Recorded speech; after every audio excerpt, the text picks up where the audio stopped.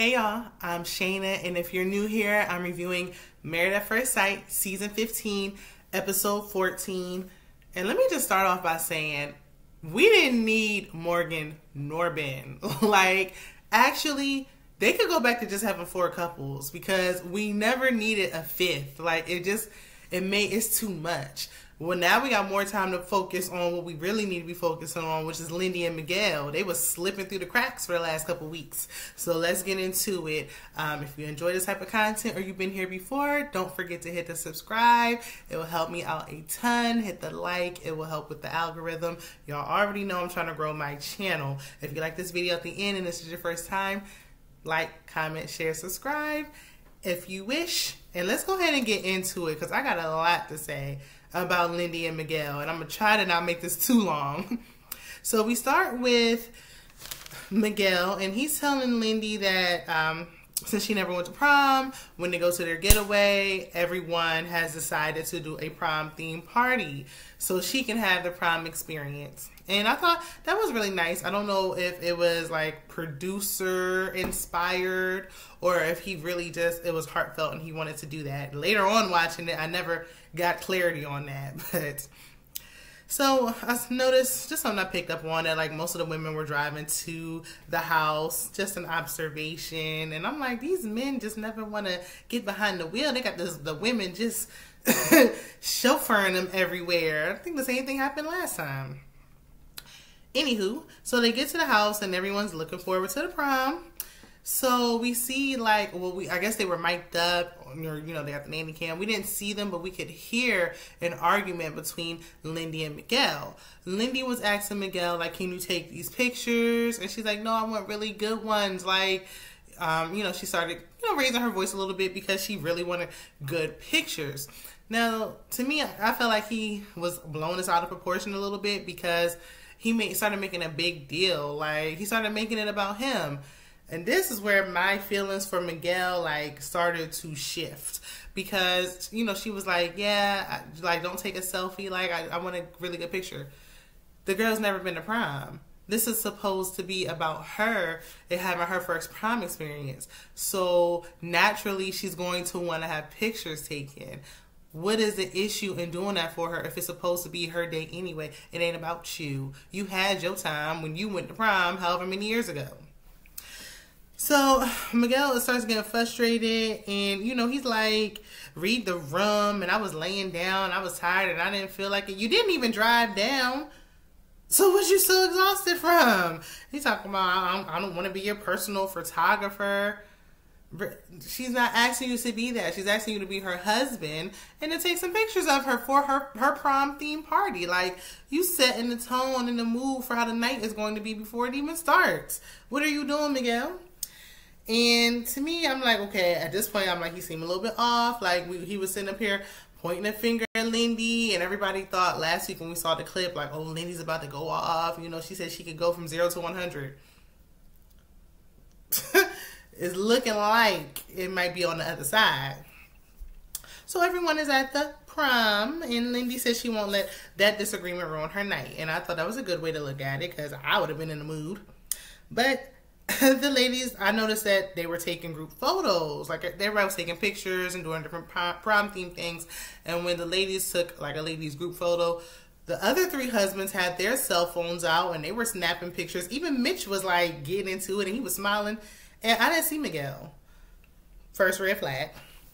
So Miguel is still ruining the night. And you know, they're off to the side talking and he's like saying how Lindy gaslighted him but really, he's the one guy. Like, why? Why are we still talking about this? Like, we done moved past this. Like, let we're here now. Let's enjoy the night. Um, and he was like, you know, you don't need to be talking to me like that. You're not gonna be talking to me any kind of way. And I'm like, was he bullied as a kid or something? What is? Where is this coming from? What do you mean not gonna be talking to me like that? Like, okay, he was like, I just don't like the way you said it. Then when she cussed you out about the insurance, you wasn't saying all this. But that's where I kind of, because he said, don't talk to me like that. Like, that's where kind of, I guess that's where it began. So now every time she raised her voice a little bit, he more and more like, "Don't talk to me like that. Don't talk to me like that. Don't talk to me like that." Until he just, you know, explodes. Maybe that that's just a guess.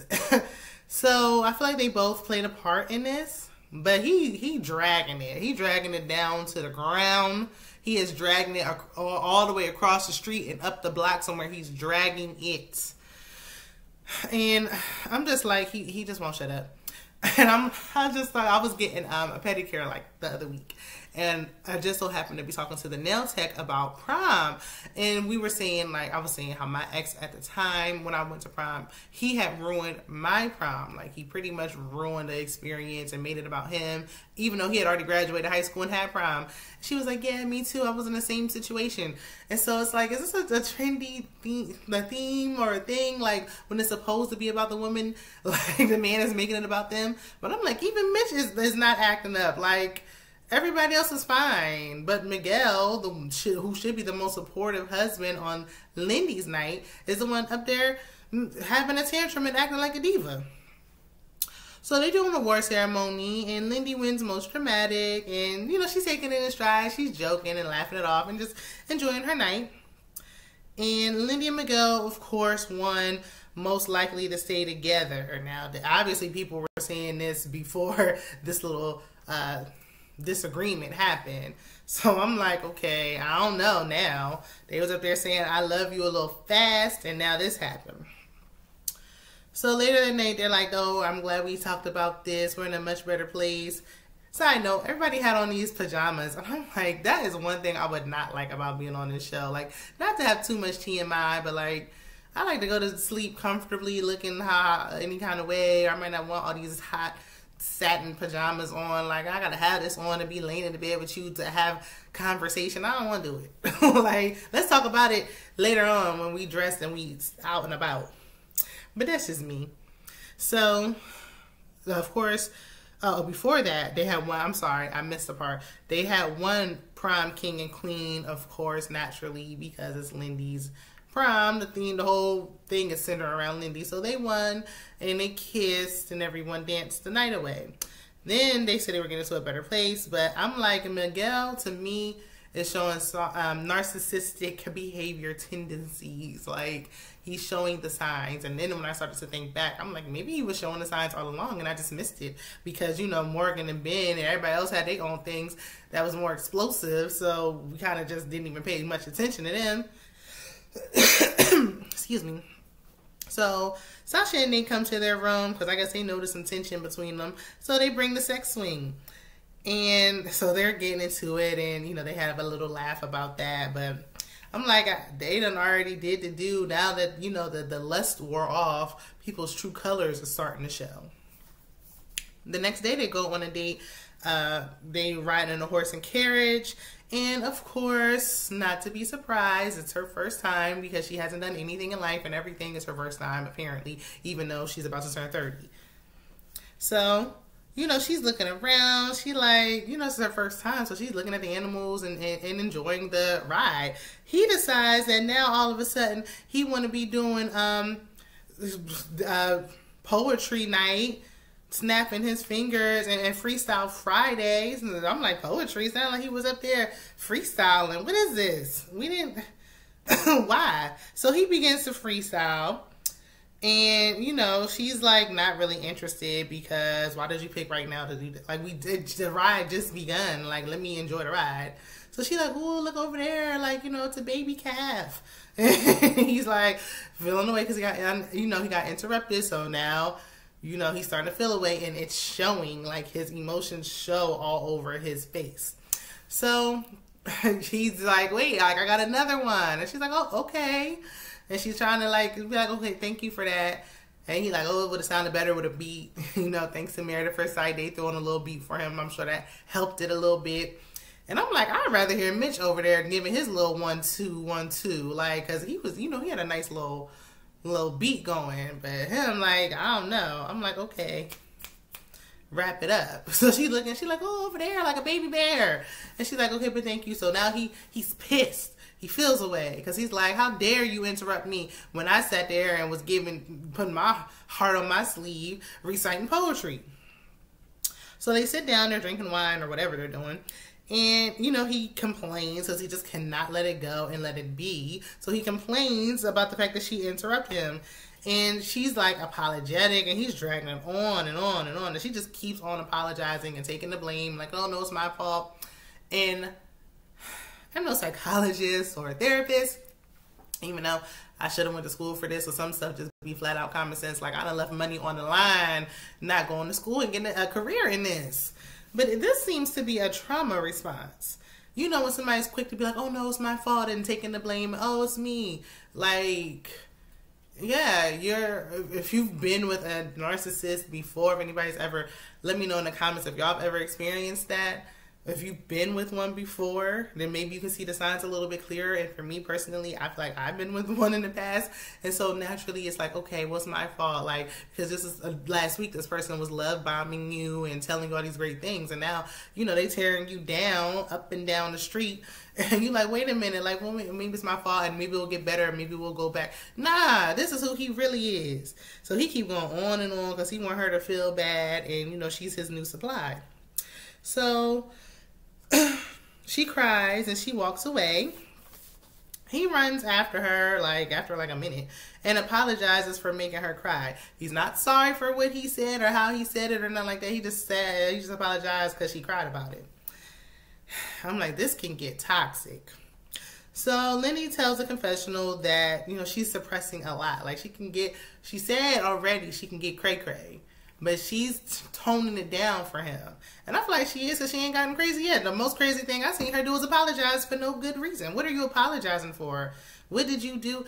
Yeah, it was a little, you know, kind of rude to like interrupt right in the middle of that. And she did apologize for that. Like, just end it. Like, don't give her no more. Or you could have been like, you know, that's something that's special to me and made me feel away. But your timing was terrible as well. So, I mean, again, y'all both played a part, but only one person is being blamed for this. So before dinner with the group, Lindy is trying to like get selfies and she's trying to take pictures and I think she asked a producer to take a picture for her. And Miguel is complaining and making a big deal about this. And he's like, um, you know, you didn't you could have asked me to take a picture, like read the room. Like this time can't you tell I would have wanted to take a picture? I can't. You're sitting over there having a tantrum with your arms crossed, having a hissy fit, like your panties are in a bunch. So I'm like, and if I hear read the room one more time, please. So he starts gaslighting her, the very thing he's complaining about her doing, he's doing. And you know, she says she just she feels like she just can't win. So she started trying to say how she feels. But she doesn't want to upset him, so she's like, you know, asking for a hug and apologizing, and he said no. So she didn't like it. It made her feel rejected, and nobody wants to feel rejected. So she felt rejected, and he starts talking about the picture incident from earlier and i'm like or the day before actually. And i'm like we still on it. Like this is still on your mind. Like you are a grudge holder too. Let it go. So you know lindy is saying in her confessional she like i'm losing my patience. Like i can't take much more. Like i already told y'all how i can get and i'm about to get there. And honestly like i i you know I can't stand people use like these explosive words and they like when they are verbalizing things like they take it too far. But he was triggering me a little bit. And maybe it's me projecting, but I'm like, why like this didn't cause all of that. Like obviously she didn't feel comfortable enough to ask you to take the picture because you complained so much the day before. Now you're complaining that she didn't ask you. So no matter what she would have done, you would have been complaining. And I feel like obviously behind closed doors, you've been probably starting to do this and nitpick and do all these little things that like tear her down all along. Then you come and make up for when the camera rolling with a plate of spaghetti or something, and like and act like so. We like, oh Miguel, he's such a good man. Mm mm. Okay. So he told you know he. Hold on, what did I write? I, Lord, I can't read my hand. So I don't know what I wrote there, but uh, everything is bothering him, and oh, I said that he um, threatened to walk away, like he might not stay after decision day in so many words. And he always holds that over her head, and he knows that upsets her, and it still does. Obviously, you're saying you love her, so now she's feeling comfortable. Like, okay, well, now this is set in stone. Like, she feels safe, and every time she starts to feel a little security around it, you throw it up in her face again. Just like when you busted out of nowhere last week talking about love might not be enough. Where, where's this coming from? Like, you just want to pick at her and try to like tear her down. So she breaks down and she's like, you know, she just can't do anything right. Like, she's so sick of this. And I think she waited for like a minute, like thinking that he would wrap his arms around her or apologize or come console her. He just looked at her like a deer caught in headlights. Like he was looking at her like, "What girl? What's wrong with you?" So she runs off, and she's like, "I don't even want to go to dinner." And the producer's like, "You don't have to go, Lindy." And I'm like, the producer's showing more compassion right now. And I feel like the more you cry with, uh, now I ain't diagnosing nobody. Just speaking in general. The more you cry and like show your emotions with a narcissist, like the less it, it does not affect them. The more you do it, the less they care. And really, that could just be with just people in general. Like he playing with you, like he got you right where he wants you. Like so, I feel like you crying and getting upset. Now you didn't cry about three, four times this episode, so it don't affect him. He don't care. And I mean, I'm an emotional person as well, so it's like, okay, I'm crying because I'm so upset. Like, can't you see you're hurting me? And you're really just hurting yourself the more and more you do it because they don't care. And I feel like the only re- honest reason why he came around when she went to that bathroom was because people was around. Like I feel like the more time that goes by with them, the less he gonna come around. He just gonna let her cry. He don't care. He ain't gonna care. He gonna be like, what was his name? Um, Jose and Rachel. Like whatever. don't care. Like lock you at the house. You can't. You don't got no phone, no key. Don't care. So Lindy's in the bathroom breaking down, and Miguel asks her like, "What does she need from him?" If she tells you, are you going to give it to her? Like, does it make a difference? If she tells you, are you going to do it? Or uh, so she again said she doesn't want to go to dinner. They didn't go, and I'm just like, okay. He said he loved her pretty early. He was getting all these flowers on all these things, and now you can't even like be nicer. Like you take something that could have been something small and turned it in a mountain um, a mountain into a molehill, molehill into a mountain. Y'all know how to go. So Lindy and Miguel come out to eat with everyone like after dinner. Like the couples had already had dinner, but after the fact they came into the kitchen and he's fake taking accountability. And I say fake taking accountability because he turned around the next day and went back to um, being, you know, a negative Nancy again. So the couples are planning to play dodgeball the next morning, and Miguel is just like being just unpleasant. and so Miguel and like when they were playing dodgeball, you know, the red team that Lindy was on, they decided to. Lindy was like, and Krysten was like, let's split it up. Like, let's not do like couple couples or um, men versus women. Like, let's just split it up. So it seemed like all the athletic people are like, but Mitch aside was on one team and other people was on the other team. So they should have had Krysten over there, but I guess it would have been like all women. So anyway. the, the came down to the bottom line between Miguel and Nate. So, you know, Nate is trash talking and stuff, and that's how I like to be when I'm playing. A, you know, talk, have a little banter, talk a little trash. Like, it's fun. It's just a game. But he didn't want to do it in the first place. He had already said before they left, like, he just want to turn around and go home. But really, he just staying there because he knows she want to be there. But if you're going to be like a party pooper or Debbie Downer the whole time, then it's like, yeah, you're here but like I, I would almost like rather you not be here, like because you still ruining my time because you're just being so negative. He talking about she's negative, but she hasn't been negative this entire time. Like even after their fight, she was still optimistic. He was the one. So you know Nate won, and Miguel like begins to be a crybaby, and he takes it out on Lindy. And I'm like, he just wanted to find a reason to take it out on Lindy because nothing else makes sense. She didn't even do nothing. You lost to Nate, not to Lindy. and I think she like might have been trash talking because she was on the other team a little bit, but it wasn't, you know, nothing serious. It was like just playful, like they were joking. And every time she jokes with him, she's like, "I was joking," and she takes it back and she apologizes. And he's like, "Well, you don't stand firm on what you said. Like, we'll pick a side. That's one or the other." it's like when she does say something, you tear her down. So now she's afraid to speak up. I wish she would speak up for herself. Like, dang, I first it was Krysten. Now these women, y'all got to get that backbone in. Like, don't let these men be doing these things to you. Say what speak, say what's on your mind. Speak your mind. So he took it out on Lindy and you know started playing the victim and stormed off. Lindy was uh, sitting down with her team and she was making excuses for his behavior. I'm like, is this Stockholm syndrome? Uh, too too soon? Too soon for that? I'm gonna give it another couple episodes and see. Because at first I thought maybe because they were so boring for a while, like they were trying to have a storyline. But the way this dragged on for these them two hours, nah, something been going on with them two. So he's with his team and he's throwing her under the bus, of course, because he don't really like her like that. Even though he tried to claim he love her, like, do you? I can't. Let me keep my mouth closed. Then Lindy just begins to break down and she starts to vent. Sasha said in her confessional, like Lindy's over emotional and like kind of blaming Lindy, but I'm like, you're only hearing his side, and y'all, and then it's like even like with Justin or whatever, like when the per the one person's emotional, it's like, oh, you're just overly emotional, you're overly, but her emotions, what she's explaining, what she's saying is valid, so you didn't even hear her side, and even then she's still taking the blame. But bottom line, she says she doesn't want to be his punching bag no more. She's tired of it. But is she gonna walk away? No. I think they're gonna say yes on decision day. And I saw a glimpse of the after show. I didn't really watch it because it was kind of boring this episode. But like even then the guest host was like i wish you would have you know spoke up for yourself. And she was like oh no there's more to it. And she still was like making excuses for him. So that kind of let me know like she probably said yes on decision day and she's scared that if she go home he gonna you know rip her a new one all over again.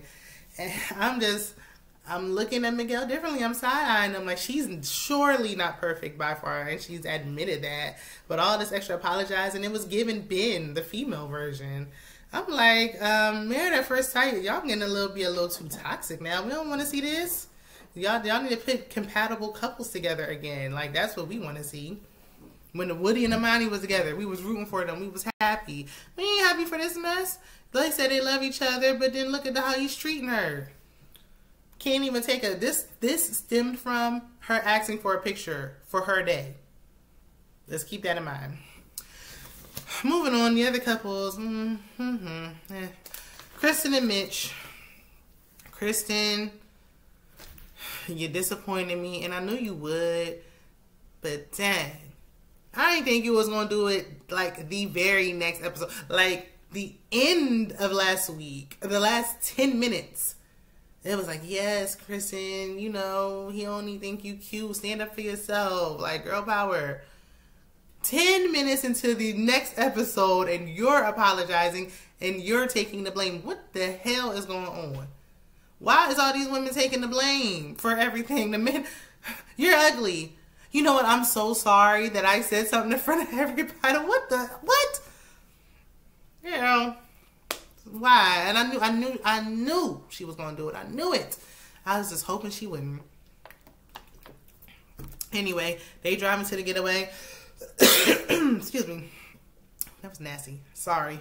And I'm not adding in nothing because y'all know I don't edit. I just what you see is what you get. I don't had a cough for three weeks now.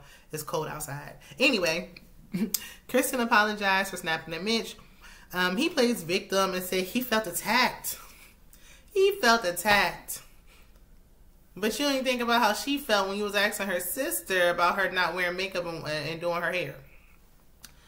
So I feel like okay, yeah, everybody was kind of coming at him and it caught him off guard. So I feel where he's coming from to an extent, but attacked is like a whole nother level. Like you you you putting a little too much on it. Like you putting twenty on ten. So finally in the car, he tells her he thinks she's beautiful, and of course that's all she needed to hear. If he would have said this, uh, you know, a couple weeks ago, like th- th- there'd be nothing to talk about with him. Even if he don't feel it and don't believe it, it don't seem sincere, don't seem genuine. As long as she hear the words, that's all that matters. So as long as he said he's she's beautiful, she's like, well, you know, so she, I feel so good. That's what I've been waiting for. I won't say anything else again. I'm sorry. It was my fault. I shouldn't have said anything. Cause now you finally told me I'm beautiful. Yeah, he told you you're beautiful because you snapped on him in front of everybody. But okay, they get to the house and Krysten tells everyone that Mitch validated her. Like, girl, you're giving him too much. So Mitch, they're getting ready for the prom, and he's telling, you know, he's zipping up her dress, and he was like, I know that um, Lindy is going to be the prom queen tonight, but you're the prom queen in my eyes, or you're my prom queen, prom queen, or whatever he said.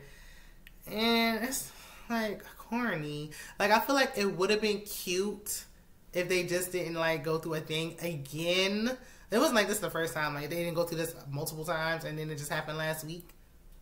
Like you just did it. Hold on. I'm back. So you just did it last week. like you turned around after you said she was unattractive like multiple times and that's like, oh you'll always be my prom queen. Like, shut up.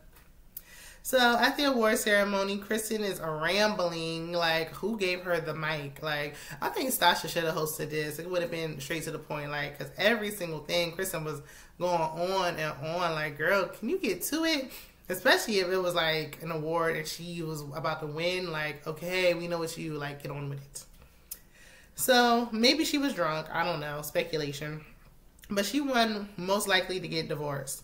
And Krysten said she voted for herself. Like, yeah, you probably did it last week when he was mad at him, and now you done apologized to him in the car when he was driving up to the place. So I'm like, now Mitch was like, now if I would have been joking like that, it would have been a problem, but you can do it, but okay. So the next day, the couple goes on a date to shoot like bows and arrows, or whatever it's called. When I say bow and arrow. so Krysten wants to pick like buzzwords, like a buzzword, and put it on a sheet and shoot an arrow through it. So that way, like they're ending it, like that's the end of it. Like after today, when we throw the arrow through it, we done talking about it. So she said, uh, everyone's favorite word, attraction. She's not going to bring it up anymore because he told her she's beautiful. If he never tells you again, you mean you're not gonna bring it up because he said it that one time. If he don't ever tell you again, or Dr. Pepper come out of thin air and from a back door somewhere and say, "Are you attracted to her?" and he like, you know, I like kind, of I'm kind of attracted. You're not gonna say nothing else about it again. Okay. He said pool gate. I said, is that what we calling it now? Pool gate? like, was it all that? Okay. So they were they're done with it. She's like, well, I'm just saying we had two different experiences. Like, I, yeah, I didn't have to say this. And once she started doing all that, like, it lost its um for me. Bring the sister back on. She would have kept it all the way 100. So the ladies are cooking dinner, and Krysten confirms that she and Mitch are still not having sex because you know so much has been going on with them. And Sasha asks Krysten like her thoughts for decision day. Basically, she's conflicted. Like she wants to say yes, but then she feels like she said the wife in me wants to say yes, but the woman in me, you ain't been a wife but two seconds, girl. Push that to the side and listen to your instincts. She said the woman in her want to say no. She's gonna say yeah. I already see it coming after dinner, everyone's in the kitchen um, talking, and Krysten comes out, and you know she's got on Mitch clothes, and she got on like a stocking cap, and she's pretending to be Mitch, and everybody thought it was funny. Um, I mean, it was cute. So the next day, before the couples go play dodgeball, Mitch gives a nice little speech about marriage. So that was nice, and you know they were good sports playing the game. That's it for them. So Sasha and Nate, I got like two sentences on them. Let's get to it. Uh, they're preparing to leave for the trip, and uh, Sasha mentions bringing vibrating panties. Nate switches up his hair. That was nice, a nice surprise. Like, finally, like maybe, maybe he should have wore it like that on his wedding. I don't know. But Sasha is, um, she's gonna wear her vibrating panties at the dinner the next day when the couples are having dinner together. And I'm thinking like, okay, all they're talking about, maybe because they don't have like any drama happening right now, so they just gotta have something to talk about. But all they're talking about is sex, and it's like all y'all like they overly sexualize Sasha and Nate. Like more than any couple I've seen before. Like when they had that steamy shower scene, like that was straight explicit for them. Like they used to do remember the first say they it used to come on like FYI or like another channel or A and E or something. It when they had all this going on.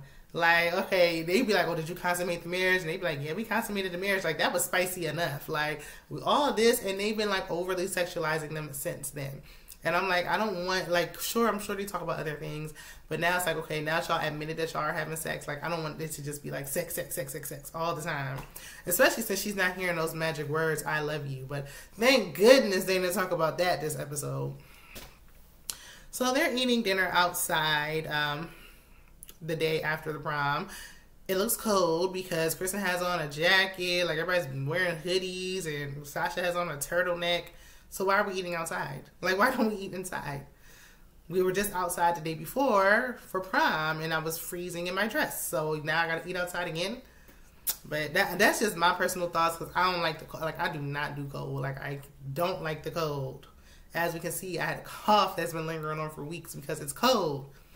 So Nate let he let the vib- the vibrating panties go on so long. Like he was just letting it go. Like it's like he like flipped the switch and just left it on. Like and she's like, does he not know how to work the switch? He know what he doing and he doing it on purpose. And that's why I don't wear stuff like that because it's supposed to be like you supposed to just a little zap. Like it's supposed to be cute and funny. But it always be somebody who want to be extra, taking it too far, and that's why I don't do that type of stuff. So it was to the point where Alexis was like, "Is she wearing vibrating panties? Like she's scooting around in her seat and stuff. Like, what are y'all? Doing? What's going on with y'all two? And Krysten was like, "Is that what it is? Is that was that what what's going on over there?" So finally, like Sasha was like, "Whatever, she she can't handle it no more." So she jumped up her seat and ran off, and Nate ran off behind her. And he's like, "Oh yeah, I couldn't figure out how to work the switch." Yeah, you could, little liar, allegedly. But I feel like Nate did that because he liked being in control. Like even when they had their task to let him be in control, it was sexual. So I feel like yeah, he feels in control in that moment, and that's probably why she let him do it just to make you know so he can feel like he in control. I mean, Sasha seemed like she a little you know a little freaky, but when y'all take that out of it, what else is going on? I'm like besides vibrating panties and the swings and the toys and all that other uh, you know little spunky stuff. Like what else y'all got going on? I mean, I like them. I just want to, you know, I just know I want there to be some more substance. Speaking of sex, oh Lord, Alexis and Justin, and thank goodness they are the last couple, and there's no Morgan and Ben. I just have to say it again, like no Morgan and Ben got me relieved. So they get to the house for the getaway, and I didn't want to cough in y'all face. So they get ready for prom, and Alexis isn't giving me prom. Like she's giving I don't know what she's giving, but it's not prom. I don't know if it was the dress or the wrap uh, that she did with her braids. Like I feel like she should have just let her braids hang, and I, I don't know. It wasn't like she was, you know, she's she's pretty, and she looked that that uh, dress was very nice on her skin tone. Like I like the orange on her skin complexion. It just didn't give me prom. Like I feel like Sasha and Nate understood the assignment. So finally, they consummated the marriage, and it came out because uh, Alexis had asked Justin to uh, buckle her shoe, and he was struggling and couldn't get it. I'd be struggling too with my own shoes, so and then she was like, "Yeah, that's how you were struggling with taking off my bra." And I'm like, you just had to embarrass him. That right there let me know, like, he ain't put it down because if it was good, you wouldn't even be exposing him like that. Like, you've been exposing him literally since y'all met. We didn't need to know he was struggling with the bra strap and all that stuff. Like, who cares? Like, okay, you still gave him some, so that's a something more about you for for going through with this. You should have been like, you know what? Let's just stop. Like, I don't want to rush. If you have second second thoughts, so she like, you know what, like it's fine, like I don't need no man, like making little jokes about it, taking little digs. Um, they were like look, looking in the mirror at each other, and she was like, "Well, are you glad?" Um, she asked him, like, "Are you glad that we finally consummated the marriage?" And he was like, "Girl, yeah." I ain't gonna lie to y'all. that response would have had me like, ah, what did I just do? Like, mm, it never happened. We it, we never did. Like your word against my. I'm just joking. But I wouldn't have been bringing it up. I would have kept that. I would have been like how Sasha and Nate was in the first couple of weeks. I would have been acting like, look, I ain't seen nothing. but uh yeah, so they went on. Um dang, I was about to just talk right through them. Do they have anything going on at the prom? I don't think so. Devon Franklin, I feel like, was the reason behind this. Devon told her to do it, so she did it, but she really low key wanted Devon, not Justin. At the award ceremony, Alexis won biggest gossip. She knows she's loose lipped. She owned it. On the after show, though, she tried to say, like, with the Ben situation, like, it was Justin who came and told her the stuff to begin with. If it wasn't for him, then she, what I gotta do? Justin was the one that came and told you, his wife so he's the reason why you can't keep whole water. He's the reason. Like, yeah, they shouldn't have told him because there's a high probability that he would have told you, but it should have stopped with you. He it's his fault that you can't keep your mouth closed. Got it. So the next day, Justin plans a surprise date, and it was to a winery. And they both got they got two bottles with their names on it. And Alyssa's like, "Oh yeah, we should save it for our one year." And he was like, "Yeah, I was gonna say that one year, first year." First year of what? Like y'all gonna get back together afterwards and be like, oh, I know we said no on decision day, but uh, cheers. Like y'all ain't saying together, so what we even talking about? If they make it, let's just see. So then they're talking outside. I was bored. I see no chemistry between them. Absolutely zero. None. No chemistry whatsoever. Like having sex seemed like it drew a bigger wedge between them because before you just kind of wondering what it's going to be like and you have like maybe some ten- sexual tension between y'all. Now Alexis knows that it's trash, allegedly, so she don't care. Ladies, later when the ladies are cooking dinner while they waiting on Lindy to come back from arguing with Miguel, Sasha asks Alexis how um, was consummating the marriage. And Alexis basically said she wasn't satisfied, like, because she was like, Well, how was it for you? And she's like, Well, as long as he's happy. And she's like, Would you stay with somebody if it wasn't good? Girl, just say it was terrible. But she did make a point where she's like, You know, the first time, sometimes it can be awkward. And that is true. Sometimes you don't know each other, you're trying to, you know, fill each other out. So the first time can sometimes can sometimes be awkward, but I think it's just awkward for you because you don't like them. You can't stand them. You did it to see if there was gonna be a spark. There ain't, and now you definitely gonna say no on decision day. That was another check on your list. Like, oh, and the sex is bad. Like, bye. Cause the drag, the dog thing, we ain't want to hear it no more. So you had to have something else. So everyone's eating dinner outside, and Sasha told Nate in their uh, confessional that Alexis and Justin had sex, and she said she wasn't pleased. And Nate was like, "Really?" Like he was taken aback. Like they had sex. Like I'm surprised. I think all the couples, Morgan and Ben, we know they don't count. Everybody else, everybody else, I believe, did. Lindy and Miguel, Krysten and Mitch. I'm trying to think. Am I missing somebody? Watching? Yes, everybody else did consummate the marriage. Um, consummating the marriage seemed like it helped Lindy and Miguel at first, but not now. Consummating the marriage seemed like it helped Sasha and Nate. But for how long? Because we know we see some clips for the rest of the season, and they about to get into it too. So we gonna see what that's about. But it, without fail, every time they go to these houses and they go on these group trips, one couple set it off. So it was Lindy and Miguel, but it was not who we thought. I, I, at least to my surprise, I thought it was gonna be Lindy acting the fool, but it was Miguel who chapped my behind this time. Let me know what y'all think down in the comments. Be sure to check out my other content, like, comment, and subscribe. And I will see you guys in the next one. Bye.